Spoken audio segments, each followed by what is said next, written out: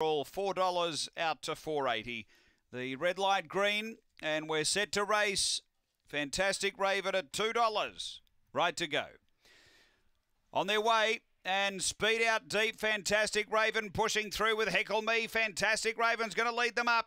Heckle Me moving to second and tucked away. Central McLaren the inside, two and a half off the lead. Uh, then Burning Glow from Crusher Enemy and Justice for All down the back. Fantastic Raven led by two to Central McLaren closing hard. Four away is Heckle Me. They race to the turn. Fantastic Raven gathered by Central McLaren who go straight past and too strong. Central McLaren drew on to win again from the red box. Fantastic Raven second. Then came Heckle Me, Justice for All, Burning Glow and crush your enemy. The time here is excellent.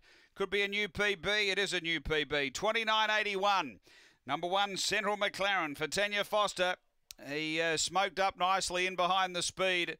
And then he uh, peeled out and was too strong. Number one, four Fantastic Raven has uh, run second. And third going to five Heckle Me for Tony Rasmussen, the second dog trained by uh, Richard Stasiak. It's one, four, five, eight is fourth after race seven here at Angle Park.